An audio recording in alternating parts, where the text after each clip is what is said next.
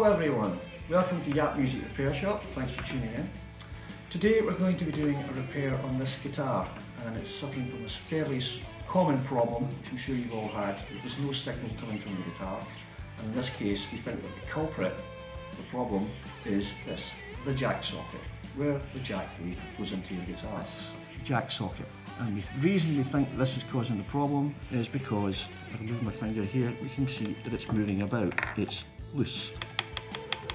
And also it turns around, which means that there's a good chance that one of the cables in there has got snagged and broken. Tools, we're going to need some certain tools. Now, if the cable is broken, one thing that you are going to need is one of these, soldering iron. Soldering iron is used to resolder wires for various other electronic jobs. Uh, this one is a fairly common type, Antex type, uh, and it's a 25 watt iron, which means it gets hot, a bit like your mum's iron. And we've got a little stand here to put the soldering iron on, because as I say, it gets hot, you want to stick it down and put your hand on it or burn anything else. So that's on there, it's nice and secure.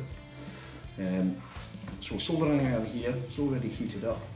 And for the soldering iron, we're going to need the solder which comes in a little roll like this. So we have soldering iron, solder. We're also going to have to get the jack socket out to have a look at it. And for this we're going to need a screwdriver. Most guitars, or every guitar I've ever come across, uses little crosshead screws or Phillips type screws. So you really want a Phillips or crosshead type screwdriver, which is one of these. And if you look down here, you can see the crosshead screw crosshead screw, crosshead screwdriver, and the two of them fit together. And you can see this fits in just nicely. Okay, so we have a screwdriver. So we're going to remove this mounting plate. Removing the screw, we also have a small plastic tub. A small plastic tub is to keep the screws in so you don't lose them and you know where they are.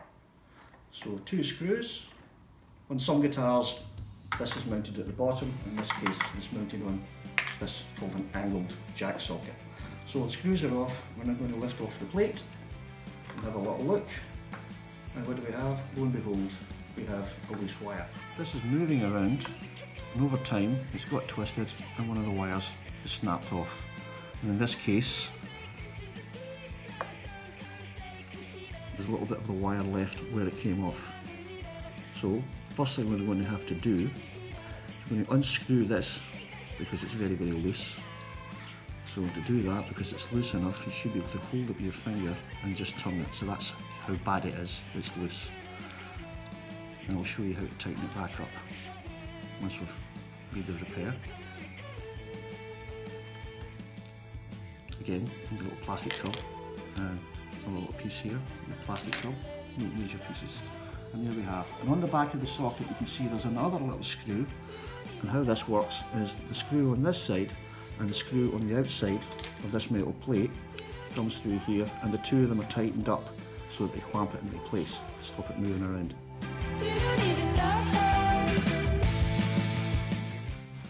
So the problem that we have here is the wires here and it's usually they're quite short how they do it in the factory is they make this wire up, then they feed the cable back into the guitar and then solder it into the guitar. But we can't really do that, or we could if we did, but it's going to take a lot of work. So the way around that is to repair it in situ, where it is.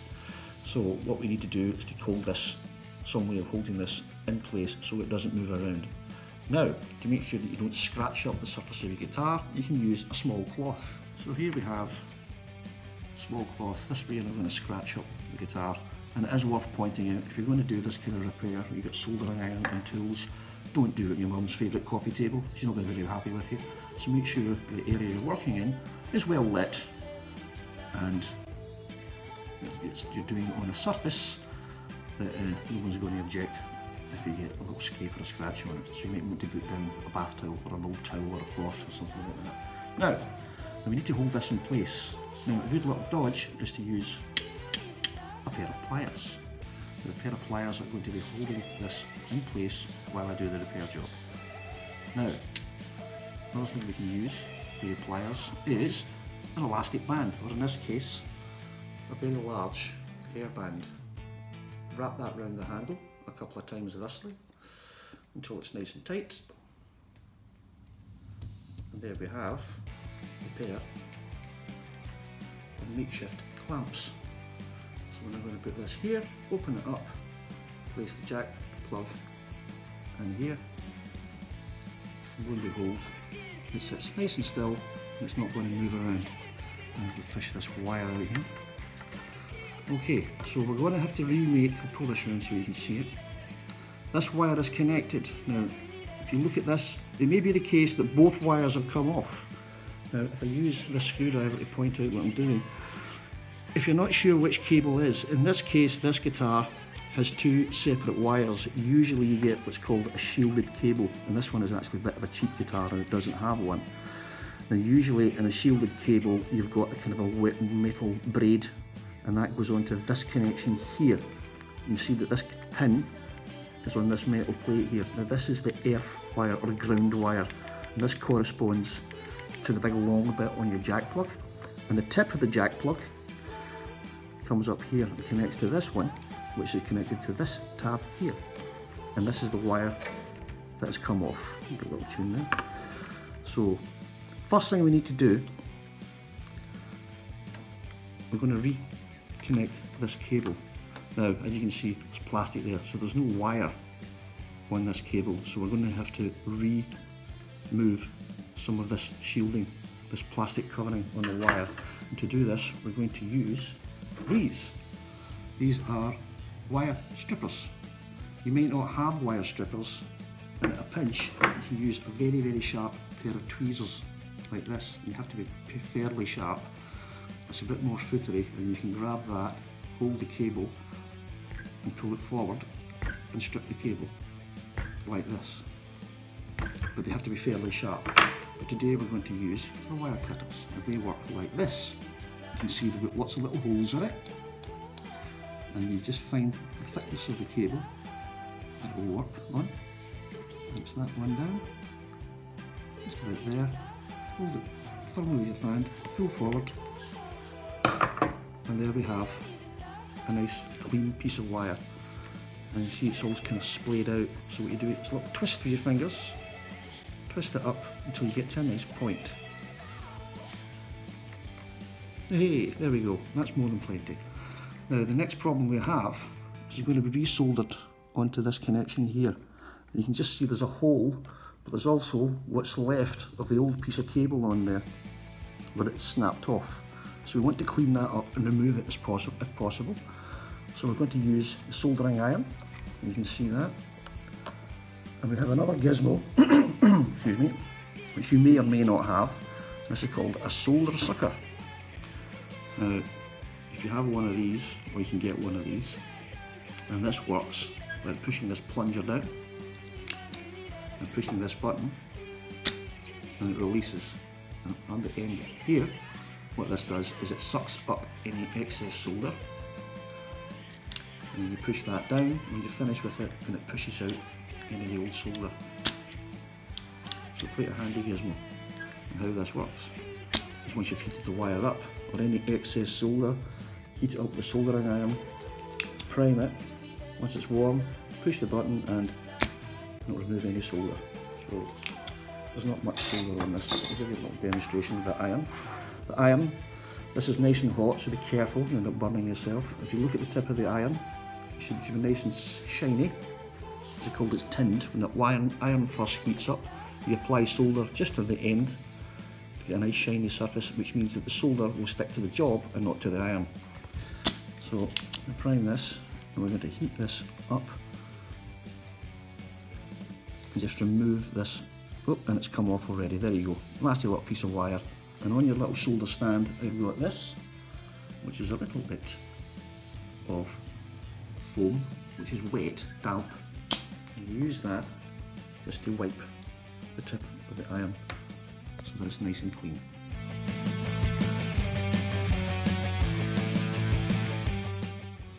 now so we now have our metal tag that we need to reattach this wire to. So you can see that, you can see there's a hole, a nice clear hole for the wire to go through. as well as the solder holding it on, this wire has a kind of a mechanical connection. So it goes through that hole. You get this hole through here and it's secure. And what we can do is we can just fold it over slightly. Slightly and that comes through and that sticks. So it's got a little bit of a, a mechanical anchorage. It's a bit footy to see what I'm doing in here. Right, and there we have it. So that's how we're going to do it. Another way to do it is that you can apply a little bit of solder to the wire or tinny it. So if we do that now, again make sure that it's secure when you're doing this with a wire. So we're going to tin this wire, get soldering iron, and we get some of our solder. Now the trick to soldering is, the old saying is, you don't heat the solder, you heat the work. In this case the work is this piece of wire. So you want to heat that piece of wire up, solder on one side, wire on the other side, let it melt and it will flow over. And there we go, got the wire tinned, put it through the hole. You just hold that there. And what you can do is if you so desire is to get a little bit of a twist on it so that the wire is secure. And you can hold the plastic piece with your hand there. And just bend that around a little bit. So that the wire is now secure. Hold that there. Again we're going to supply a little bit of heat to the soldering iron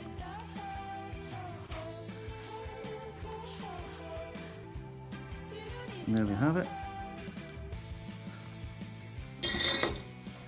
And if we look around there, we can see the wire is now reconnected.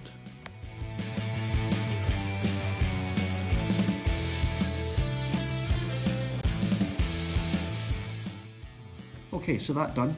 Take a clamp out of the way, put that to one side.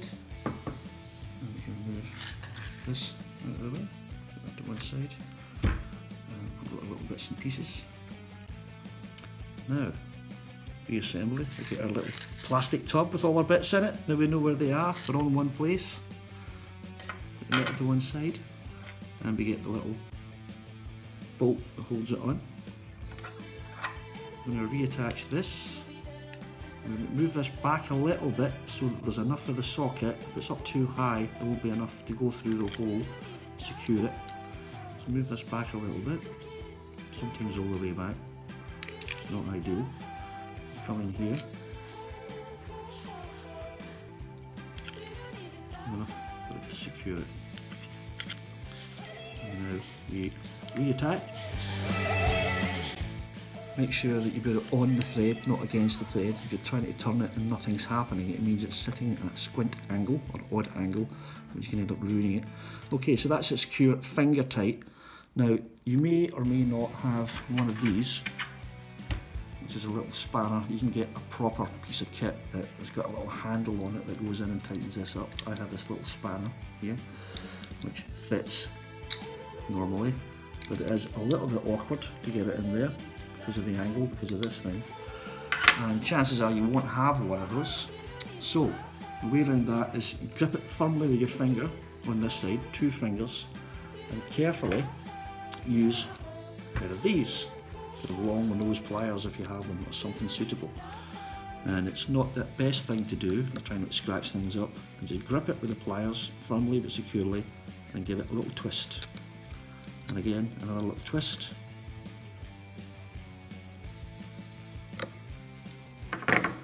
There we go, and that's nice and secure. It's not going to go anywhere. Perfect, so we've done a repair, and now it's reassembly. So pop it back in the hole, make sure the wires are all kind of good and secure. Slot it back down. Again, back to our plastic tub with all our parts so we know where they are. And just with your fingers, put one in one hole, just like that. And put the other in the other hole, just like this. See that. Make sure again that you put the screw in straight, not all twisted and higgledy-piggledy. Screwdriver again, get it on the screw head, tighten it up. a little bit that. Next one, get that down. Okay, and give it a turn. Don't go crazy with it, just make sure it's snug and secure and it's tight and it's not going to come loose. Again with that one, a little check. There we go, job done.